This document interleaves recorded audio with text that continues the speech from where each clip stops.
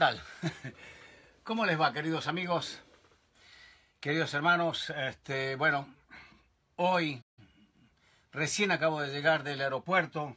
Estoy tratando de conectar este, eh, lo que es YouTube. Al final no pude, vamos a ver si lo podemos conectar después el programa directamente de aquí de, de Face. Vamos a producirlo, vamos a presentarlo. Pero quería estar acá, quería estar un rato comentando con ustedes todo lo que viví. ¿Ustedes se dieron cuenta de todo lo que pasó este fin de semana? Eh, realmente fue un fin de semana muy, muy especial, para algunas personas muy trágico. Eh, a mí me tocó vivir una experiencia única en mi vida. Y quería comentarlo, quería hacerlo, aunque sea a esta hora. Eh, supuestamente teníamos que haber hecho el programa hace tres horas atrás. Y American Airlines se atrasó. Eh, suspendió los vuelos. No había electricidad, no había agua, no había comida, no había eh, tranquilidad. Todo esto pasó en, en este fin de semana. Y recién llego, recién llego, entré al estudio y dije, bueno, aunque sea voy a hacer por Face.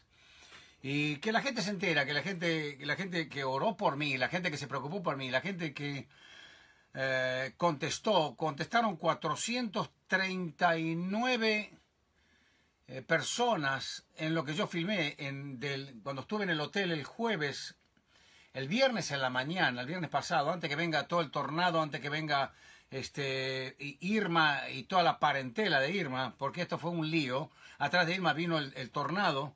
O sea, fue una cosa tan fuerte. Y yo filmé todo esto para dar la anticipación a la gente de qué es lo que estaba viviendo yo. ¿Qué fue lo que viví? Viví realmente algo muy, muy especial, muy peligroso, pero peligroso en serio, ¿eh? Créame que fue peligroso en serio. Yo doy gracias a Dios de que estoy, la estoy contando acá. Porque después les voy a mostrar la foto. Eh, el jueves les muestro todo. Hoy no sé qué, qué estará pasando en la parte de YouTube porque no lo puedo sacar al aire simultáneamente. Eh, vamos a prepararlo para el jueves, presentar todo lo que yo filmé, todo lo que grabé, todo lo que viví eh, durante el huracán y después del huracán, después de Irma. Me tuve que quedar en Miami. Me tuve que quedar en Miami, no pude salir a ningún lado. Tenía un compromiso para ir a Bolivia. Tenía que estar en Santa Cruz. Tuve que suspender el concierto, tuve que suspender todo el compromiso. Eh, me quedé cuatro días en Miami con todo esto que le estoy contando, sin agua, con mucho, mucha preocupación, unos vientos de casi 175 millas por hora, estamos hablando de alrededor de casi 300 kilómetros por hora, y fue muy, muy peligroso todo. Hay gente, nosotros estábamos del otro lado, y les cuento esto para que es un avance de lo que voy a hacer el, el jueves. El jueves ya más detenidamente voy a mostrarle fotos, voy a mostrarle partes de algunos videos que pude salir. Había tanto viento que yo no podía salir. Yo no podía salir del lugar donde estaba. Y menos mal que estaba en un lugar seguro. Pero no podíamos, no podíamos salir de ahí. Se cortó la luz. Eh, hubo mucha cosa, no había internet. Eh, todo lo que, lo que significa estar dentro de del ojo del huracán Irma. Y después, para, para rematar eso, un tornado. Un tornado que, que, que realmente ustedes van a ver en las fotos el jueves. Ustedes van a ver lo que yo vi por foto, aunque ya han visto muchas cosas. Pero esto es algo personal, esto es algo que, como yo lo viví, se los quiero mostrar. Había un flaco que me ganó de mano, se llevó un drum. Y después que terminó todo, al día siguiente estaba paseando el drum. Yo dije, entendía que me había llevado el mío, pero yo no sabía que iba a pasar eso. Entonces no me llevé el mío. Yo tenía que estar en Bolivia cantando y haciendo un concierto y al final no pude viajar, por eso viví lo, de irme y lo del tornado. Pero quiero decirles algo, porque me llamó mucho la atención la, la, la respuesta que hubo en la gente. Y quiero agradecerle a todos ustedes que estuvieron pidiéndole a Dios por mí, pidiéndole a Dios por la persona que me había hospedado. Algunos dijeron, si tenés lugar, si no tenés lugar donde ir, antes de ir a un shelter, yo tengo conocidos y empezaron a llegar un montón de información y, teléfonos de personas que se preocuparon por mí y por eso quiero hacer este programa hoy, aunque, aunque no tengan YouTube.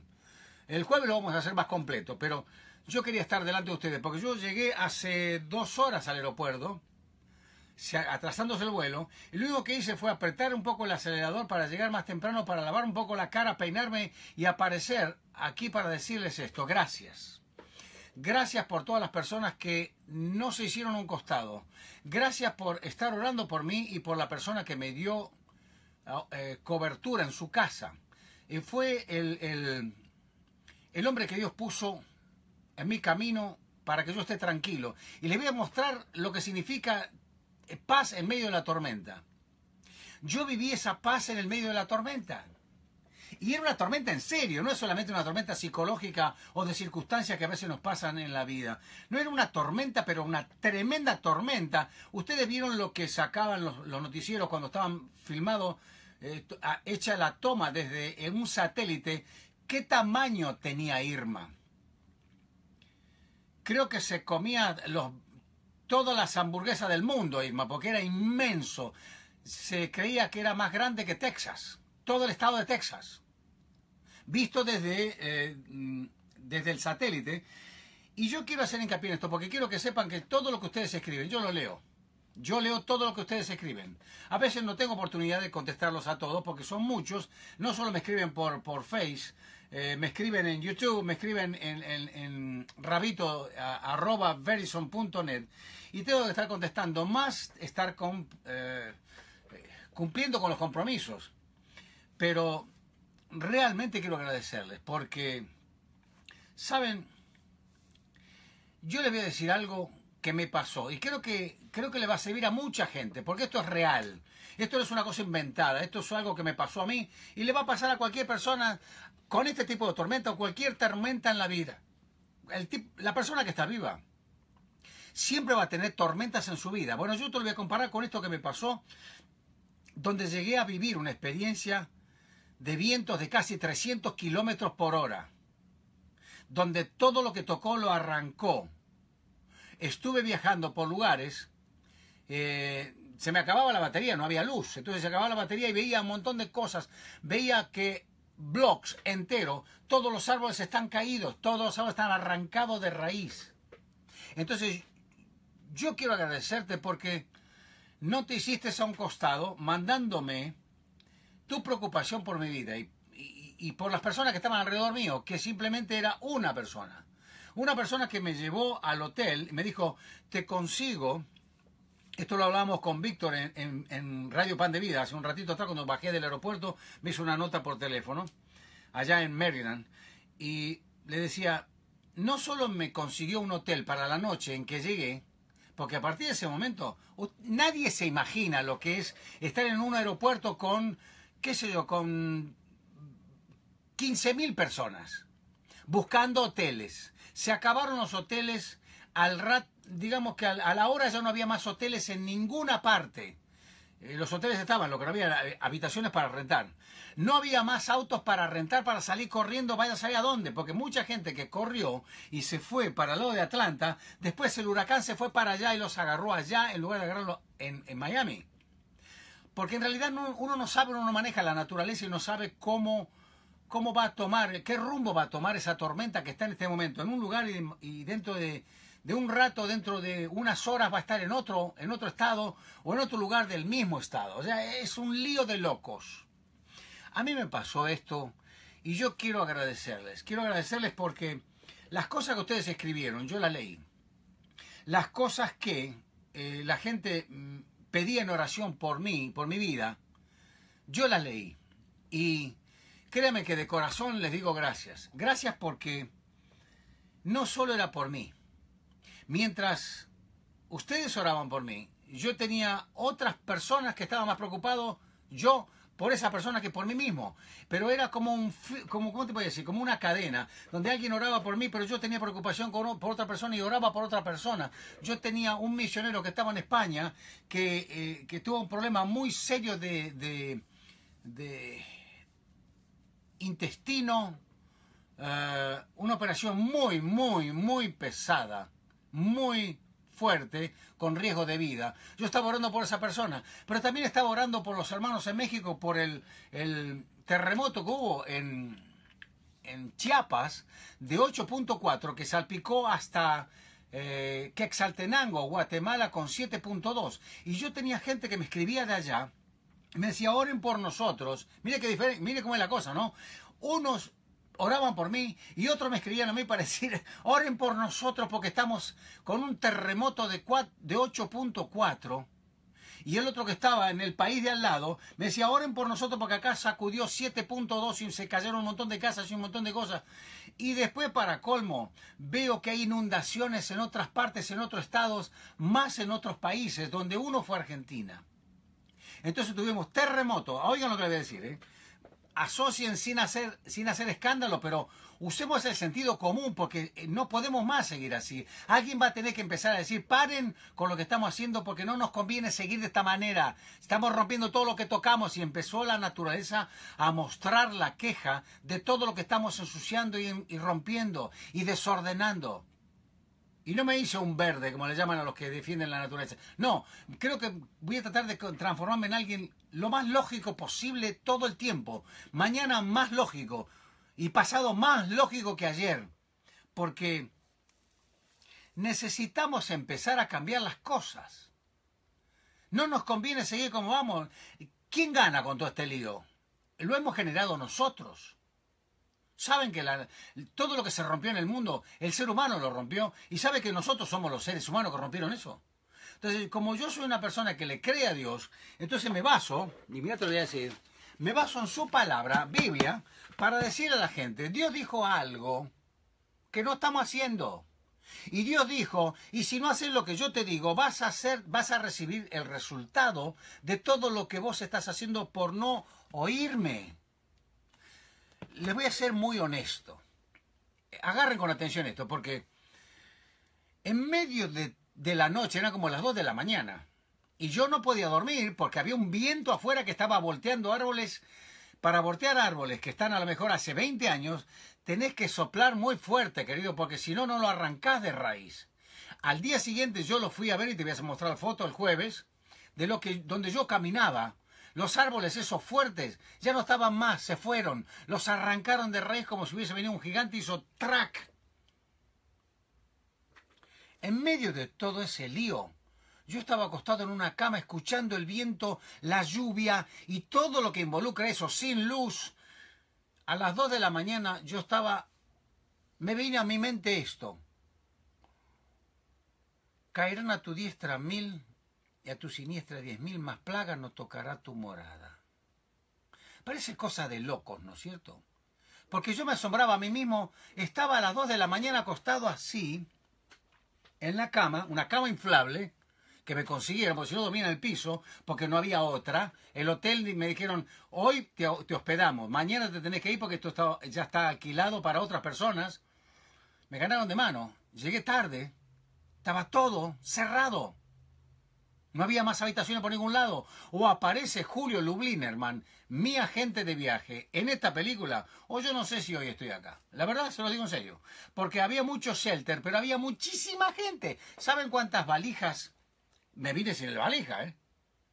¿Saben cuántas valijas hoy tiene el aeropuerto de Miami? 200.000 valijas para mandar a su destino de donde salieron. No que llegaron a donde iban a ir. No, no, no llegaron, ni van a llegar, van a volver a donde salieron. La mía vuelve dentro de dos días, a lo mejor. O sea, ese era el lío. Si 200.000 valijas te muestra la cantidad de gente que había con preocupaciones para conseguir habitación, para conseguir auto, para conseguir algo, agua, comida, porque se iba a acabar, de golpe en la casa de Julio, en el, en el condominio de Julio, que Dios había preparado, yo estaba a las 2 de la mañana diciendo gracias Señor porque no sé por qué estoy tranquilo. No sé por qué, Señor, me tenés con esta paz, que no estoy preocupado por nada. Y ahí afuera, más allá de la ventana, hay un mundo que se está cayendo a pedazos. Y yo estoy acá a las dos de la mañana diciéndote, Padre, gracias. No crean que estoy loco porque no estoy loco, pero quiero contarles esto porque esto es lo que tendríamos que recalcar en las iglesias para hacerles saber a la gente cómo funciona Dios, cómo funcionan qué le sucede a los, a los hijos de Dios? Y mira que hay muchos hijos de Dios que sufrieron inundaciones, perdieron todo. Sí, ya lo sé. ¿Por qué a mí? No me preguntes por qué, porque no te lo puedo contestar. A mí no me pasó eso. Y uno dice, bueno, este, estás contento porque te pasó a vos, porque yo sé que hay gente que va a hablar de esta onda. Yo vivo en este mundo. Yo sé que hay gente que este, no le gusta la explicación que uno da y busca el pelo en la, leche. Y sí, estás contento porque a vos, te a vos no te pasó nada, pero a otros le pasó. Sí, yo lo sé. Yo sé que yo no corrí el riesgo que otros corrieron y le fue muy mal y a mí no. Yo lo que te puedo decir es esto. Yo no sabía que no me iba a ir mal. Yo no sabía de que iba a tener una habitación donde nunca entró el agua, donde nunca faltó la comida, se cortó la luz, pero teníamos linterna, teníamos flashlight. Este, nunca dejamos de estar tranquilos. El mismo dueño, un hombre judío, me dijo, este, no puedo creer que la tormenta se fue para otro lado. No puedo creer por qué, porque venía para acá. ¿Cómo es que se fue para otro lado? Yo adentro tenía contestaciones, pero como me lo tomé con mucho cuidado de no pasar por un religioso, sino para pasar por una persona que le cree a Dios. Y esto me hace acordar a cuando José, el que conoce Biblia sabe que José era la mano derecha de Faraón, que el Faraón le dijo, menos mi, mi puesto te doy todo, vas a estar a cargo todo. Y Faraón era bendecido porque José estaba en medio de, todos. Entonces José salpicaba la bendición que Dios le daba a él, a todos los que estaban alrededor. Más o menos me sentía así. Qué loco, ¿no? Eh, ¿Ustedes creen que yo soy un religioso? No, nunca, nunca piensen eso. Jamás lo crean. Yo soy una persona que le creyó a Dios hace 35 años. Yo vivo de esta manera. A veces a veces vivo un montón de experiencias que no tienen nada que ver con esto, que no son tan, eh, tan contables como estas, o sea, para contar y para hacer una anécdota y para resaltar lo que Dios hizo conmigo, como en otros... Como, para acá, apago porque me olvidé de, de, apagar el teléfono de la oficina. Estoy trabajando, cállate la boca. Ya voy. Este. Yo sé que hay gente que dice. A vos te fue bien, a otro mal. Sí, Mientras que a mí no me pasaba nada en la habitación de un condominio en el medio de las tormentas. El ojo pasó, qué sé yo, a dos blocks. Así que imagínate lo que era eso. El ojo del huracán Irma pasó a dos, tres blocks de, mí, de, donde yo estaba. Y por si eso fuera poco, atrás viene el, el, ¿cómo se llama? El tornado. Yo me puse a orar por los demás mientras algunos oraban por mí. ¿Qué quiero decirles con esto? Porque ya, ya van casi 20 minutos. ¿Qué quiero decirles con esto? Yo primero quiero decirles gracias. Gracias a toda la gente que se acordó de mí y creo que Dios escuchó a muchos de ustedes. Eh, por eso me fue como me fue. ¿Qué me dice a mí esto? ¿Qué me dice a mí como individuo, como ser humano, como cristiano, como hombre, como marido, como padre, como abuelo, como músico? Como ministro de Dios. ¿Qué me dice a mí? A mí lo que me dice es que pude ver lo que es Dios en su poder y en su dominio. Pude ver que Dios no pierde control de nada. Y a veces es como que nos está viendo ver cómo reaccionamos. Entonces yo que predico Biblia en un país que predicaba la Biblia, y que hoy algunos todavía la siguen haciendo, pero mucha gente lo ha tomado como negocio.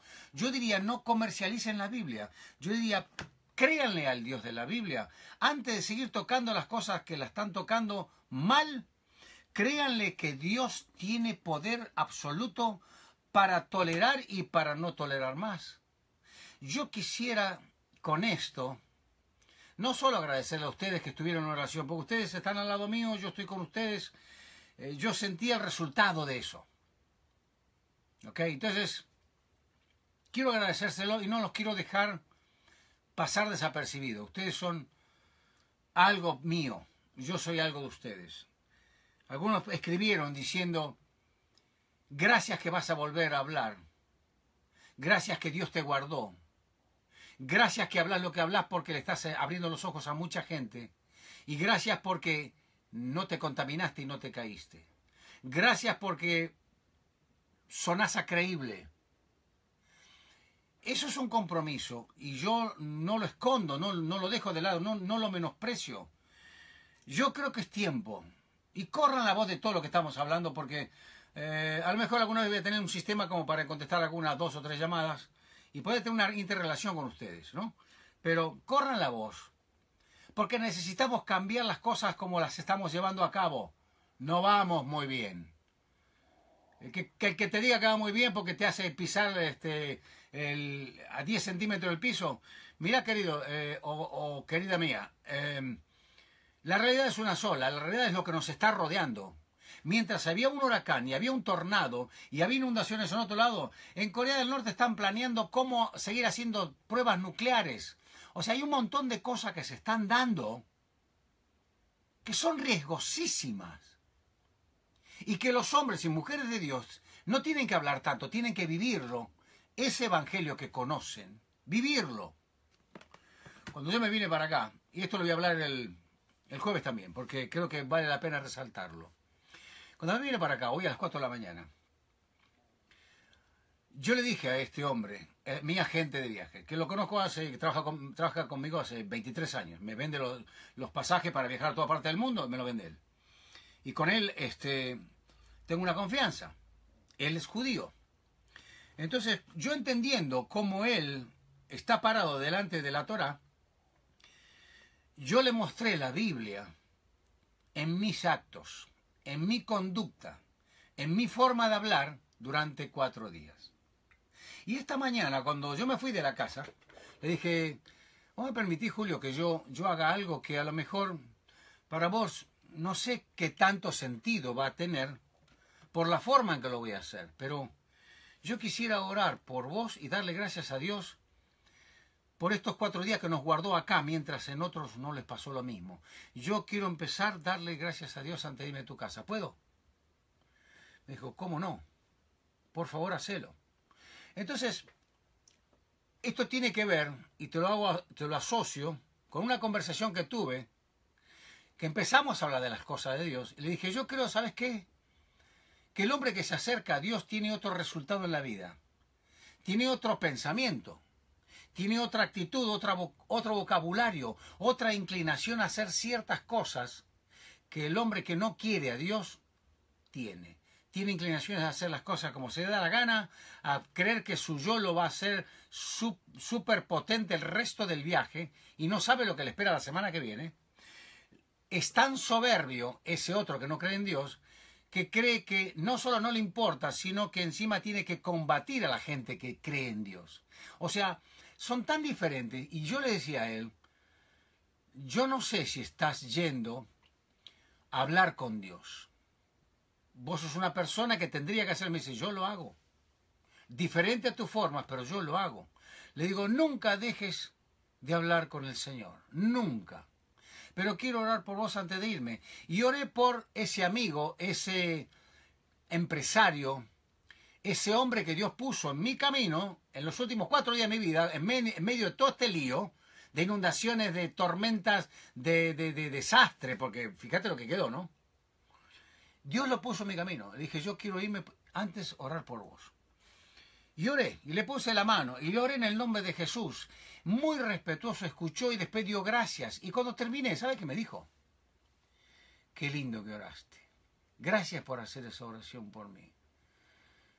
Me, me sentí bien conviviendo con vos cuatro días. Primera vez que lo hacemos no me conoce, no lo conocía. Una cosa es que una persona te venda un ticket de avión, que te prepare un paquete de avión para ir y otra cosa que vayas a convivir con la misma persona, no para comprar ticket de avión, sino para compartir parte del tiempos de la vida de cada uno.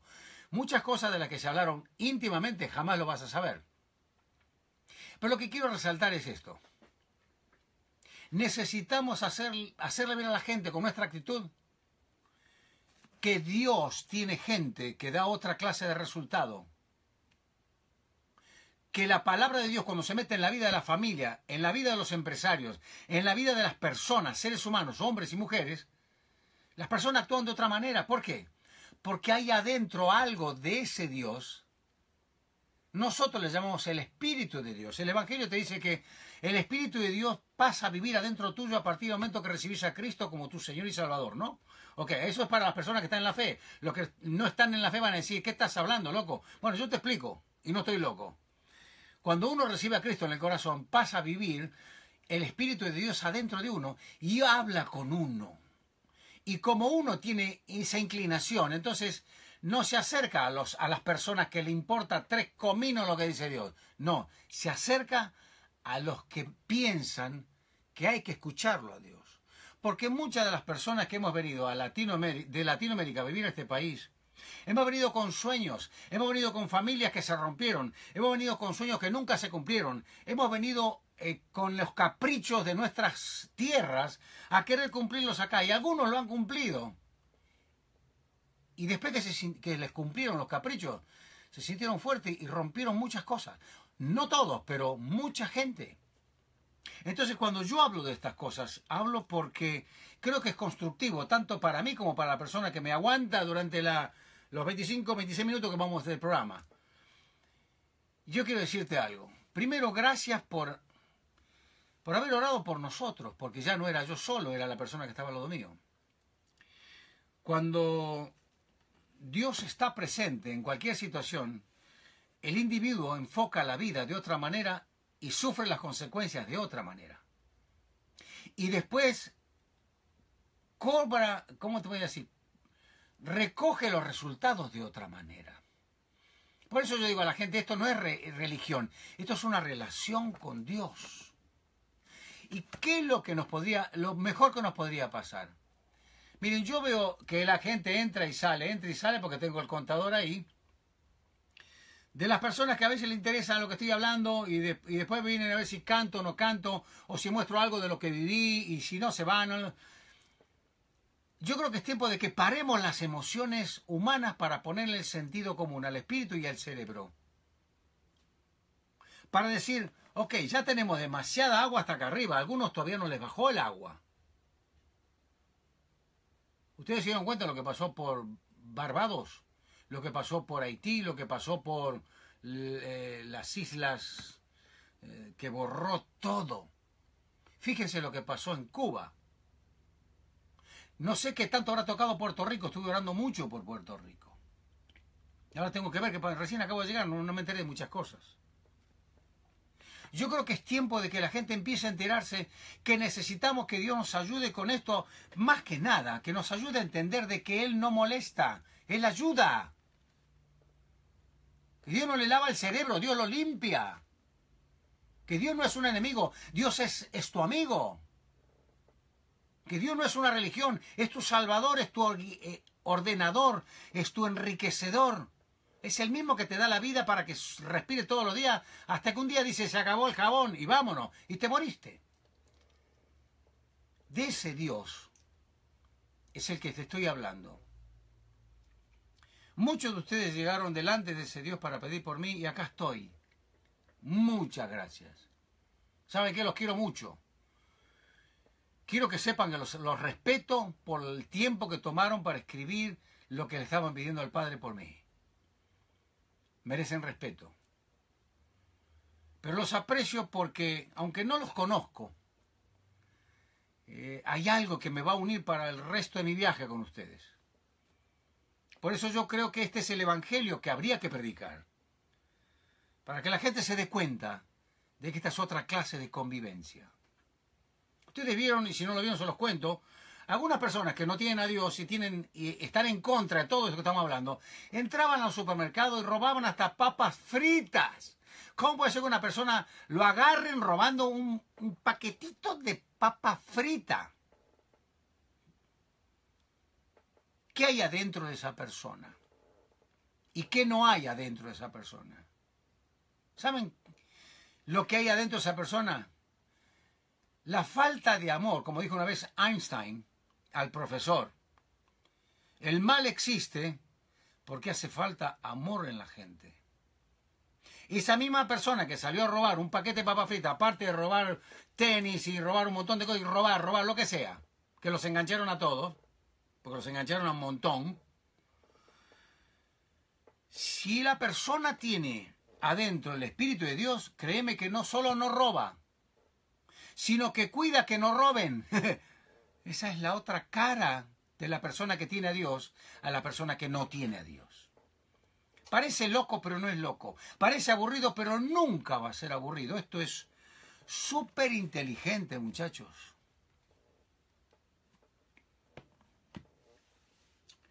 Mi tiempo se acabó. Me tengo que ir. Les agradezco de corazón que hayan orado por mí. Estoy acá, estoy bien. Eh, como no comimos lo que, lo que come normalmente una persona, voy a tratar de reponer todo lo que me hace falta. Este fin de semana me voy para Kaufman, Texas. Volví hoy de todo aquello y el viernes salgo para Kaufman, Texas. El jueves le voy a decir un poquito más, le voy a dar un poquito más de información, pero mi vida no terminó. Entonces mi trabajo no terminó. Sigan orando por esto porque voy a tratar de hacerla entender a la gente con mi propia vida, con mi propio testimonio, de que vale la pena buscar de Dios, hacerse amigo del Señor, poner a Cristo en el corazón, dejar que el Espíritu de Dios viva dentro de nosotros para que seamos otra clase de personas que no necesitemos ir a robar un paquete de papa frita. ¿Está claro? bueno, les doy un, fuerte abrazo, un beso grande. Les amo en Cristo. Eh, doy gracias a Dios de que empecé a hacer este programa. Hablo o me callo, porque es tiempo de hablar y no tiempo de callarse. Y hablar las cosas de tal manera que la gente tenga capacidad, no, no, que tenga la posibilidad, por la capacidad de mostrarlo de otra manera, tengan la, la voluntad de entenderlo, la, la iniciativa de escuchar, de que Jesús no cambió ni va a cambiar jamás. Lo que pasa es que ahora hay otra cara que te lo muestra de otra manera, pero es el mismo. Que no se vende, que no se manosea y que sigue siendo Señor de señores. Gracias por, por todo lo que oraron. El jueves ya vamos a hacer un poquito mejor, voy a ver qué pasa con, no sé, no tuve tiempo ni de repasar nada acá, por eso no pude salir por YouTube, pero vamos a hablar con mm, la gente que trabaja conmigo, con, con Chamorro, para que organice todo y lo ponga en YouTube en un ratito más o mañana a la mañana, ¿ok? Abrazo fuerte, querido. Nos vemos el jueves. El Señor le bendiga más que a mí. Y sigan orando porque hay mucha inundación, hay mucho, mucha pérdida de muchas casas, hay pérdida de seres humanos, hay gente que está con dolor. Sigamos en esto. Esto no, esto tendría que ser una rutina de preocuparnos por el prójimo. Cuanto más te preocupes por el prójimo, creo que Dios te va a bendecir más a vos y a mí. Porque nos ve con el corazón predispuesto a ayudar a los demás. Acuérdate que Dios es amor.